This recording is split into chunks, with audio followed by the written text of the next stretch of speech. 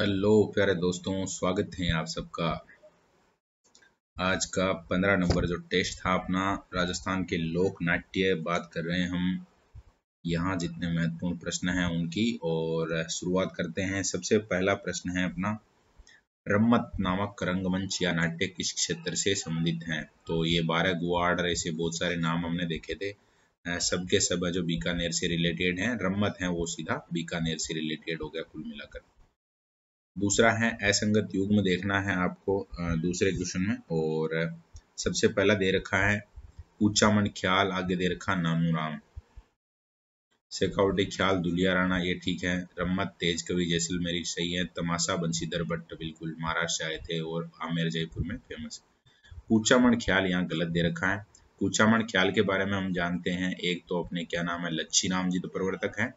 इसके अलावा हमने एक नाम और पढ़ा था उगम राज का। तो ये नाम, इन दोनों में से कोई एक नाम होता तो फिर तो सही होता यहाँ नानूराम आ गया है, जो कि गलत है। तो दूसरे क्वेश्चन का जो असंगत युग्म चाहिए, वो पहला है। नेक्स्ट है, राजस्थान के निम्नलिखित में से किस शहर में होली के अवसर पर रम्मत का आयोजन किया जाता है? तो रम्मत का आयोजन होता है बीकानेर में। अभी पहला प्रश्न हो रही है दोनों। अब यहाँ पर नई बात क्या थी कि होली के अवसर पर होता है, आपको याद रखना है। आगे चौथा क्वेश्चन है राजस्थान के पूर्वी अंचल में प्रचलित नोटंकी किस राज्य से प्रभावित है? भाई, पूर्वी अंचल तो पूर्वी अंचल यहाँ ऐसे देखेंगे हम। तो यहाँ पर आता है यूपी और यूपी से ये जो कनेक्टेड है, इसका मतलब उत्तर प्रदेश से ये प्रभावित रहेगा। नेक्स्ट है, निम्नलिखित में से कौन सी लोक संगीत एवं नृत्य शैली जयपुर से रिलेटेड है? तो यहाँ पर जैसे नाम दूसरे नंबर पर दे रखा तमाशा। रूल ऑफ़ रिजेक्शन भी लगाएँगे तो ये बीकानेर हो गया थोड़ा ये नोटंकी है जो आ, क्या बोलते हैं अपना भरतपुर साइड ये हो गया टप्पा लिख्याल भी अलग है। तो ऐसे भी पता लगा सकते हैं। बाकी हमने पढ़ा था प्रताप सिंह के समय बंशीधर भट्ट को वो लेकर आए थे महाराष्ट्र से। गोहर जान जो कि जयपुर की हैं वो तमाशे में भाग लेती थी काफ़ी फ़ेमस नाम वो भी हमें ध्यान रखना ही है। छठा क्वेश्चन है, तुर्रा कलंगी लोक नाट्य के रचनाकार कौन है? तुर्रा कलंगी से रिलेटेड तो शाह अली और तुकनगिर अपने नोट्स में भी था, हमने पढ़ा था बहुत अच्छे से। नेक्स्ट सातवां है, और सातवें पूछा कि किस कलाकार ने गोपी चंद और हीर राजा तमाशा प्रारंभ किया था? तो वासुदेव भट्ट का संबंध है वो, हीर राजा और गोपी चंद से रिलेटेड है, ये तो थोड़ा ध्यान रख लेना, वासुदेव भट्ट।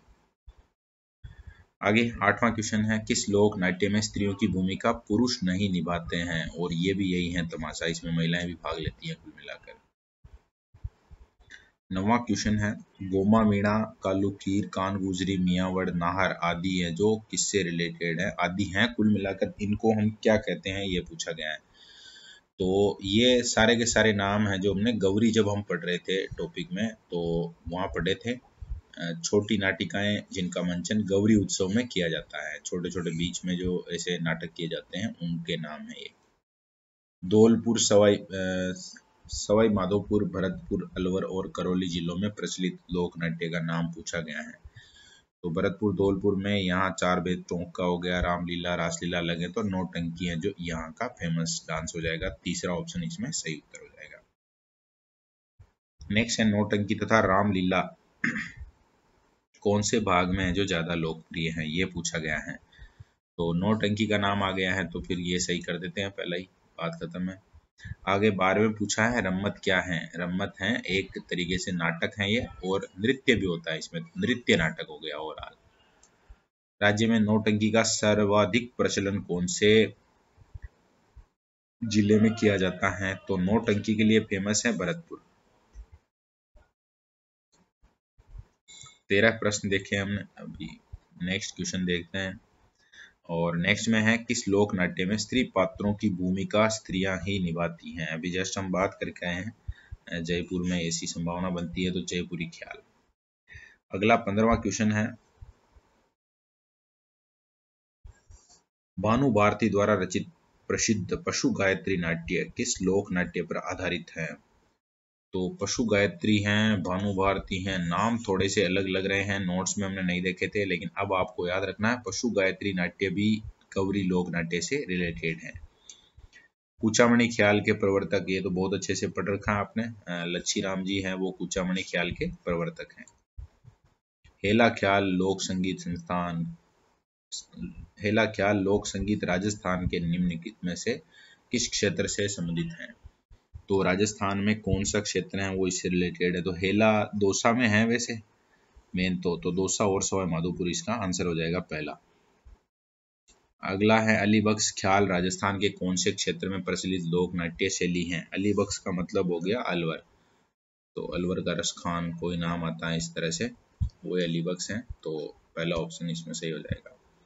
उन्नीसवा क्वेश्चन है, किस ख्याल के प्रवर्तक बंशीधर भट्ट को माना जाता है? तमाशा में बंशीधर भट्ट का नाम आता है तो फिर तीसरा ऑप्शन सही है।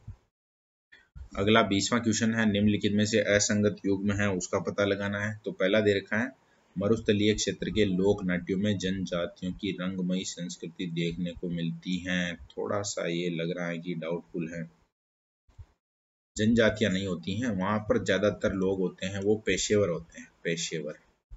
पेशेवर जातियाँ हैं वहाँ। लंगा मांगणियार ये जितने भी लोग हैं वो जो जनजातियों में नहीं आते हैं। ये तो पैसे कमाने के लिए काम करते हैं। तो पहला है वही असुमेलित है। दूसरा मतलब बाकी जो तीनों होंगे वो सही होंगे। मरुस्थलीय क्षेत्र के लोक नाट्यों में व्यंग्य विनोद प्रधानता ठीक है।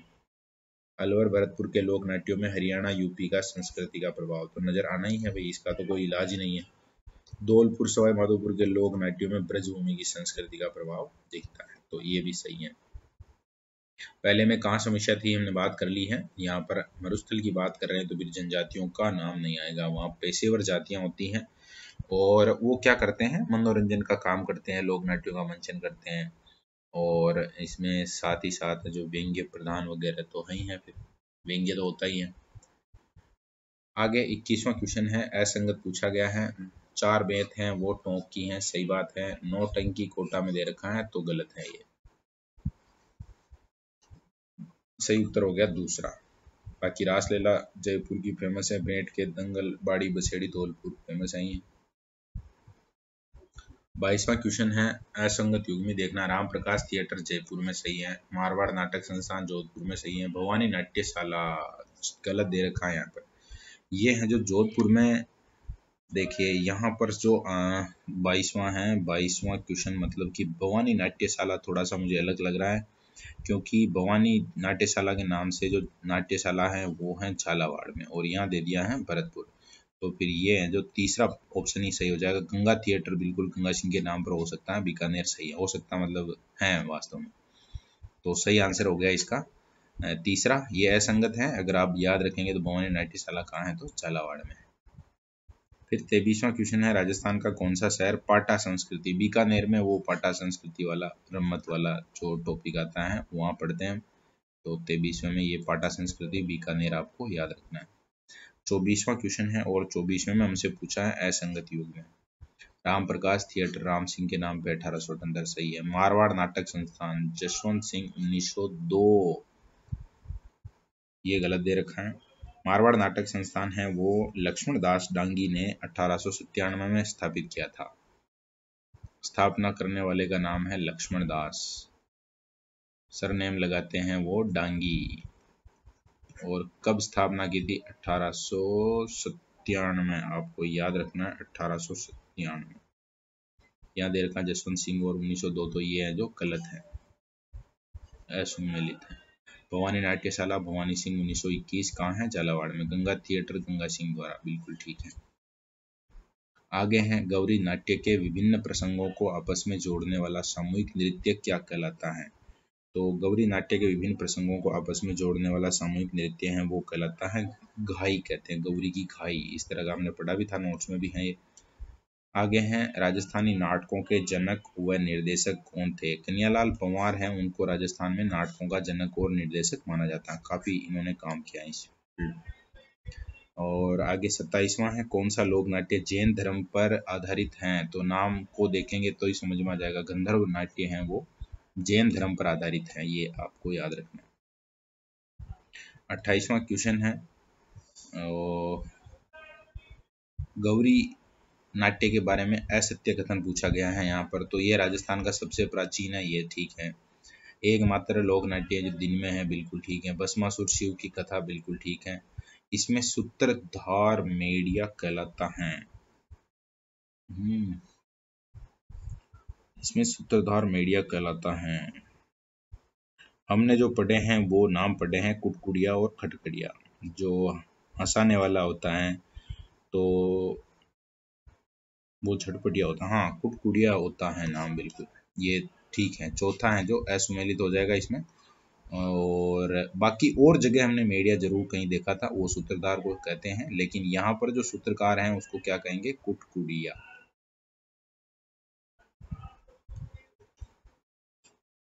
झटपटिया होता होता है, वो हास्य कलाकार होता है, सूत्रकार है जो कुटकुड़िया होता है।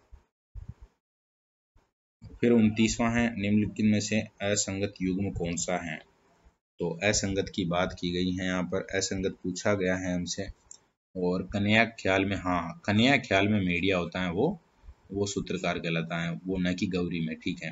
गौरी नाइटियर राई बुडिया ठीक है, रम्मत रम्मत में झामटिया नहीं होता है, स्वांग में बहरूपिया बिल्कुल सही है। यानी कि यहाँ पर जो उनतीसवां क्वेश्चन है, उसमें सही उत्तर हो जाएगा तीसरा, क्योंकि रम्मत में टेरिए होते हैं टेरिए टेरिए होते हैं कुछ कलाकारों को वहाँ पर क्या कहा जाता है? टेरिया कहा जाता है, या टेरिए कहा जाता है। और ये डांस भी करते हैं, साथ के साथ कुछ डायलॉग बोलते जाते हैं, और एक मतलब कि कला का प्रदर्शन करता है अपना।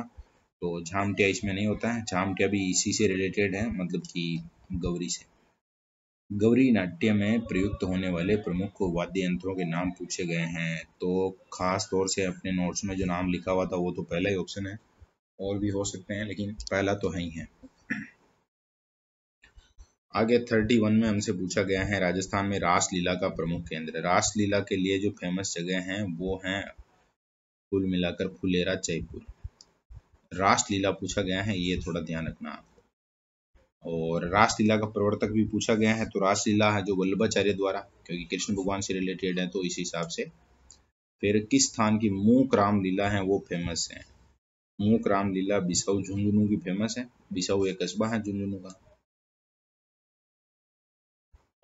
आगे चौतीसवां क्वेश्चन है, और इसमें हमसे पूछा गया है किस लोक नाट्य में नाट्य कला में कलाकार ढब बजाकर कव्वालों की भांति भावावेश में घुटनों के बले, बल खड़े होकर गीत गाते हैं। चार बेंत में, है ना? पश्तो भाषा में था और अफ़गानिस्तान से आया, फिर टोंक में यहाँ पर ये प्रचलित हो गया। ये आपको याद रखना। आगे है दुलिया राणा। दुलिया राणा का नाम है जो किसके साथ जुड़ा हुआ है, या नानू राम और दुलिया राणा किससे रिलेटेड है? ये प्रश्न है। तो शेखावटी ख्याल से रिलेटेड है। पहला ही ऑप्शन इसमें सही हो जाएगा। और नेक्स्ट थर्टी सिक्स नंबर पे हमसे पूछा गया है शाह अली और तुकनगीर को क्रमशः तुर्रा कलंगी चंदेरी के शासक तुकनगीर ने भेंट किए थे। इसमें तुर्रा और कलंगी किसके प्रतीक हैं? भगवान शिव और पार्वती माता के प्रतीक हैं। ऐसे याद रख लेना, पहला ऑप्शन सही है। और थर्टी सेवन में हमसे पूछा गया है, कौन सा जयपुरी ख्याल शैली का प्रसिद्ध ख्याल नहीं है? जयपुरी ख्याल शैली का प्रसिद्ध ख्याल नहीं है।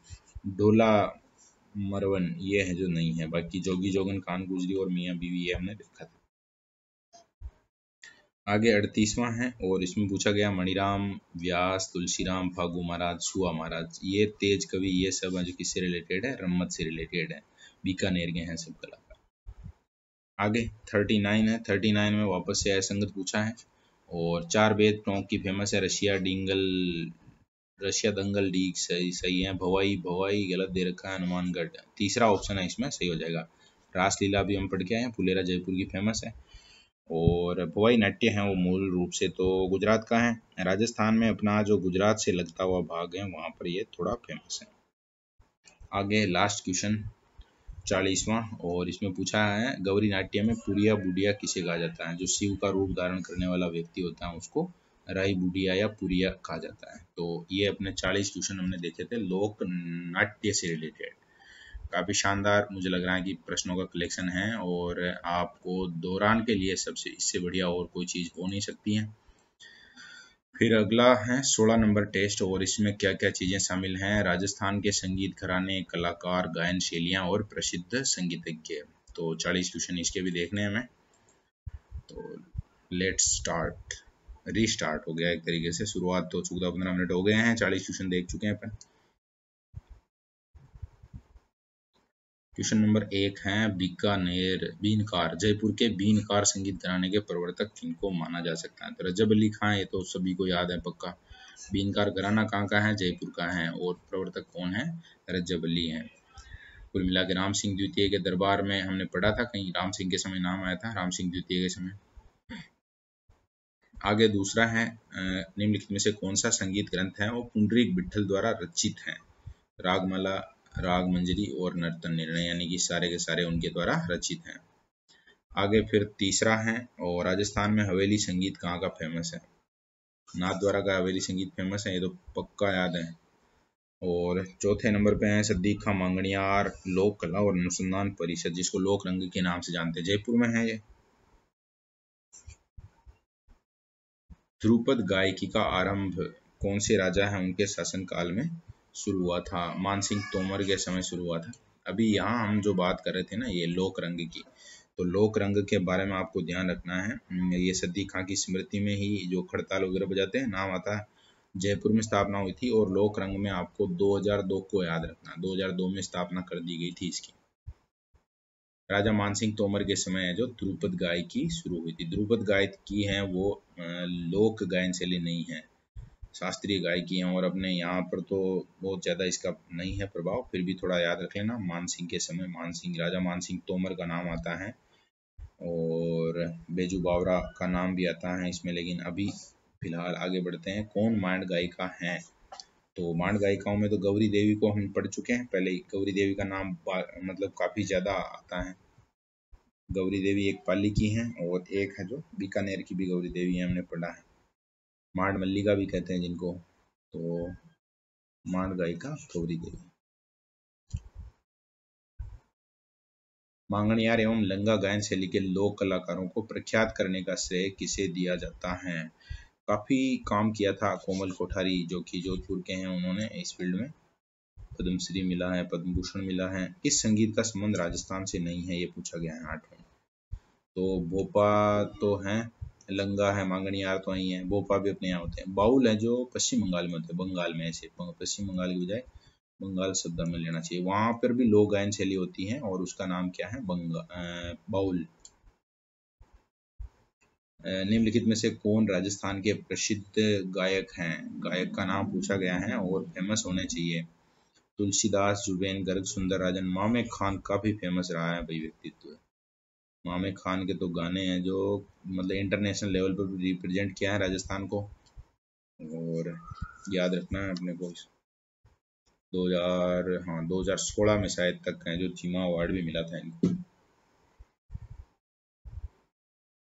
अधोलिखित को सुमेलित कीजिए और नीचे दिए गए कूटों से सही आंसर आपको देना है। तो देखते हैं संगीत घरानों में डागर घराना बैराम खां डागर सही है, जयपुर घराना, मंदरंग खां सही है, मेवाती, नजीर खां गगे नजीर जो भी हैं सही है, अतरौली अल्लाह दिया सही है तो चारों सही है। सभी सुमेलित हो गया कौन सी गायकी, लोक गायकी की श्रेणी में शामिल नहीं की जाती है? ये अभी हम बात कर रहे थे द्रुपद है, वो नहीं आएगा। बाकी ढोला आला बारहमासा जो लोक गायकी में आ जाएगा। कंठ गायन की कला में प्रतिष्ठित किस कलाकार को 2012 में राजस्थान रत्न से सम्मानित किया गया था? ये है जगजीत सिंह, काफ़ी शानदार है जो गज़ल गायक हैं, श्रीगंगानगर के हैं और इनकी पत्नी का नाम है चित्रा सिंह। वो भी गज़ल गायक कलाकार हैं और आपने एक गज़ल ज़रूर सुनी होगी, वो वो कागज़ की कश्ती, वो बारिश का पानी। तो वो वाली जो गज़ल है, वो काफ़ी एक बार अगर सुन ली होगी तो दस बार सुनी होगी। फिर वो उसके कलाकार हैं या लिखने वाले या जो भी हैं, गायक हैं, वो जगजीत सिंह हैं।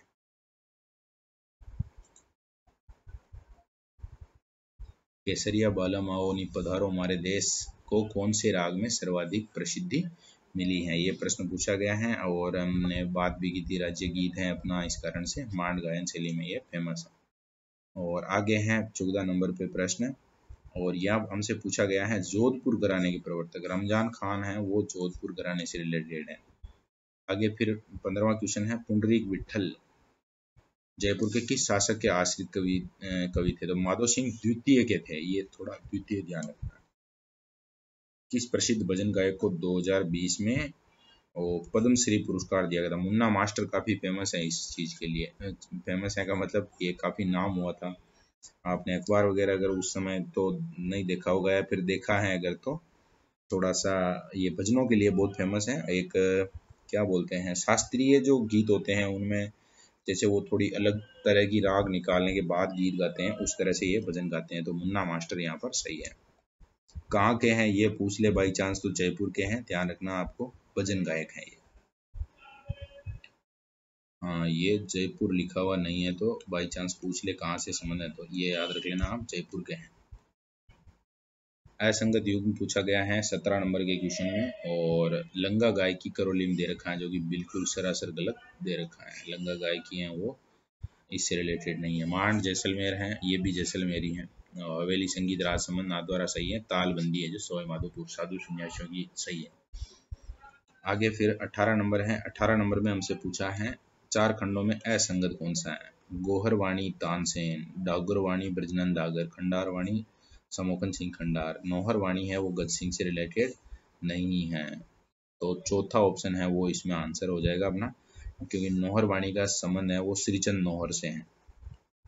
श्रीचंद नौहर। तो नौहर सर नेम से पता चल जाएगा वैसे आगे हैं बीनकार घराना के प्रवर्तक रज्जब अली। बीनकार किस शासक के संगीत, दरबारी संगीतकार थे? हम जानते हैं सवाई राम सिंह द्वितीय के समय इसका, इनका नाम आता है कलाकार का तो फिर ये सही हो जाएगा पहला ऑप्शन। बीसवा है, उन्नीस सौ पैंसठ के भारत पाक युद्ध के दौरान राष्ट्रीय स्तर पर प्रसिद्ध हुआ आकाशवाणी पर प्रसारित धारावाहिक लड़े सूरमा आज जी गणपत लाल डांगी का फ़ेमस गीत, लड़े सूरमा आज जी।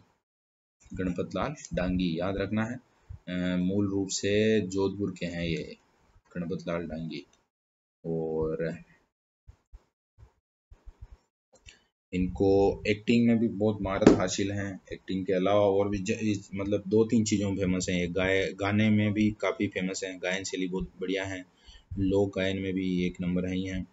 आगे प्रश्न देखते हैं। अल्लाह जिलाई के बारे में असत्य कथन पूछा गया है। तो बचपन में इन्हें उस्ताद हुसैन बख्श से शिक्षा मिली थी। महाराजा गंगा सिंह ने बीकानेर म्यूजिकल स्कूल में भर्ती करवाया था। 1982 में पद्मश्री सम्मान मिला था और डाक टिकट जारी हुआ था, वो 2010 में जारी नहीं हुआ था। तो कब जारी हुआ था? 2003 में जारी हुआ था। 2003 में इनके ऊपर डाक टिकट जारी हुआ था और पाँच रुपए का जारी हुआ, ये तो सही है, लेकिन यहाँ 2010 गलत आएगा। मतलब चौथा ऑप्शन है जो सही और नेक्स्ट बाईसवा क्वेश्चन है।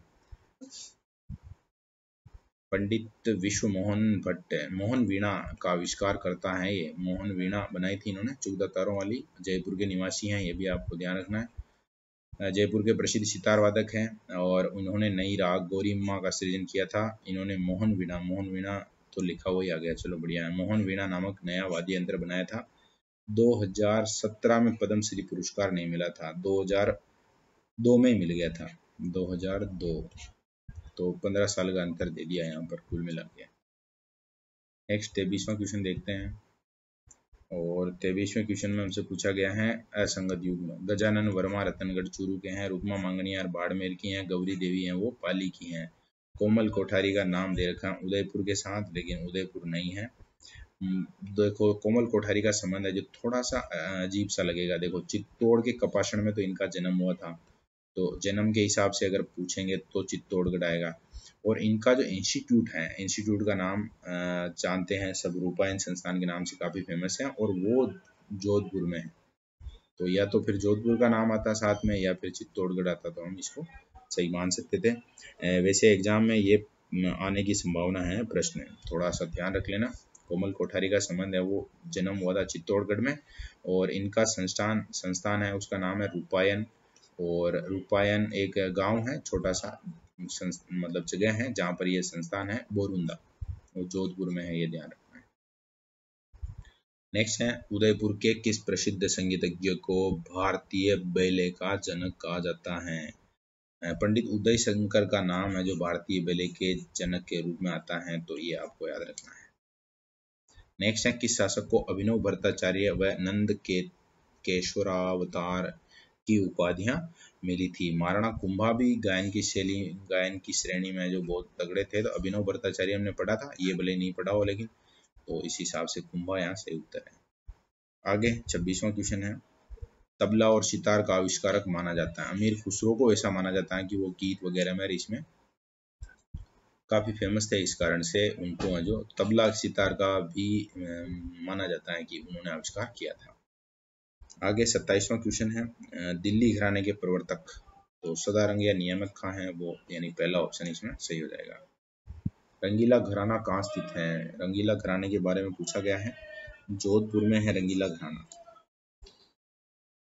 फिर उनतीसवां क्वेश्चन है, मेवाती घराने का प्रवर्तक तो गग्गे नजीर खां हैं, वो मेवाती घराने के प्रवर्तक माने जाते हैं। फिर अगला क्वेश्चन है, तीसवां, किस घराने को सितारियों का सितारियों का घराना भी कहा जाता है। मतलब सितारिया कहते हैं तो सेन या सितारिया एक ही बात है। सूरज सेन, निहाल सेन, ये नाम देखे थे हमने। थर्टी वन है थर्टी वन में है असंगत युग में। पटियाला घराना तानसेन सही उत्तर हो जाएगा, चौथा ऑप्शन नेक्स्ट है, असंगत युग में बत्तीसवां क्वेश्चन, और इसमें पूछा गया है बीनकार घराना रजब अली सही है, अतरौली घराना लादिया है, सेनिया घराना तानसेन नहीं है। हाँ नाम लिखा हुआ सेन तो इससे कंफ्यूज नहीं होना है क्योंकि यहाँ पर जो सही आंसर है वो है सूरज सेन। तानसेन का बेटा ही था ये, नाम था सूरज सेन। तो थोड़ा सा आपको याद रखना, प्रवर्तक के रूप में ये सही। तैतीसवां क्वेश्चन देखते हैं आगे। और तैतीसवां थोड़ा सा जी भी लग रहा है। मोगूबाई कुर्डीकर, केसरबाई केरगर, मंजी खां, बुर्जी खां का संबंध कौन से घराने से है? तो कहाँ से पता लगाएँगे? जयपुर है। बुर्जी खां, मंजी खां याद रखने कुल मिला के। चौतीसवा है, निम्न में से ध्रुपद गायन शैली के चार खंडों के बारे में क्या है जो असत्य है? गोहर, हारी, वाणी की उत्पत्ति ग्वालियर। और आगे लिखा हुआ है, डागुर वाणी की उत्पत्ति उदयपुर में। तो डागुर वाणी तो जयपुर की है, उदयपुर में नहीं होगी तो जयपुर यहाँ सही होना चाहिए। मतलब इस वाक्य को अगर सही करना हो तो जयपुर लिखना पड़ेगा, बाकी ये असुमेलित वाक्य हो गया, असत्य वाक्य। भंडारवाणी, उनियारा टोंक और मोहरवाणी, जयपुर। आगे पैंतीसवां क्वेश्चन है। पैंतीसवें क्वेश्चन में हमसे पूछा गया है, निम्न में से किसका मांड गायिका से, गायन से संबंध नहीं है? तो गौरी देवी का तो है, बन्नो बेगम का है जमीला मधु भट्ट तेलंग द्रुपद से गाय, द्रुपद गायकी से है तो ये सही हो जाएगा। असत्य कथन चाहिए, छत्तीसवां क्वेश्चन। और देखिए मांगनी यार गायकी में कमाईचा खड़ताल एक, एकदम सही। लंगा में सारंगी एकदम सही। हारमोनियम तबले का प्रयोग, तालबंदी बिल्कुल सही। इसका मतलब यहाँ पर है जो फड़ गायकी में वाद्य यंत्र का प्रयोग निषेध नहीं नहीं नहीं नहीं, गलत है। चौथा है, वो सही हो जाएगा। फड़ गायन में तो काफ़ी सारे वाद्यों का नाम, जंतर रावणता इनका नाम देखा था हमने। आगे सैतीसवां क्वेश्चन है, किस गायन शैली में भोपा कलाकार वाद्य यंत्र बजाता हुआ गाता है? तथा बोपी हाथ में लालटेन लिए हुए लकड़ी की डंडी से पर्दे के चित्रों को दिखाती है। फड़ गायकी फड़ गायकी कहते हैं उसको। और होता क्या है? तो वाद्य यंत्र बजाता हुआ गाता है और लालटेन लिए हुए लकड़ी की डंडी से पर्दे के चित्रों को दिखाती है। कुल मिला के वो उसको फड़, जिसको हम फड़ कहते हैं। आगे से आगे वो चित्र आता जाता है, उसके आधार पे है जो भोपा गाता जाता है। आगे है गुर्जरों की एक उपजाति जो रावण अत्ता बजाने के साथ राधा कृष्ण के गीत भी सुनाती हैं। गुर्जरों की उपजाति है कान गुजरी तो पहला ऑप्शन इसमें सही हो जाएगा। आगे थर्टी नाइन है नाथ संप्रदाय के अनुयायी जो वैरागी जीवन व्यतीत करते हुए गोपीचंद भरतरी के गीत गाते हुए घर घर घूम कर अपना जीवन निर्वाह करते हैं जोगी कहलाते हैं, जोगी कहते हैं। और लास्ट क्वेश्चन है अपना आज का। भवाई नृत्य में माहिर जाति, भवाई की उत्पत्ति कहाँ से मानी जाती है? भवाई की उत्पत्ति मानी जाती है। बागा जी का नाम भी पढ़ा था हमने, कल कल ही आया था डांस में आया था नाम। और केकड़ी के हैं वो फ़ेमस चाट परिवार के हैं तो फिर माहिर हैं, याद रखना है, भवाई नृत्य से रिलेटेड केकड़ी। कुल मिलाकर आधे घंटे में अस्सी क्वेश्चन लगभग हो गए हैं अपने। बहुत ईजी हैं। कुल मिला के रिविज़न करना चाहिए एक बार, क्योंकि कोई विद्यार्थी अगर टेस्ट हल करता है तो फिर उसको ये चीज़ें समझ में आती हैं कि कहाँ वो अच्छे से याद नहीं कर पा रहा है और उनको देख लेने पर वो याद भी हो जाता है। ओके, धन्यवाद।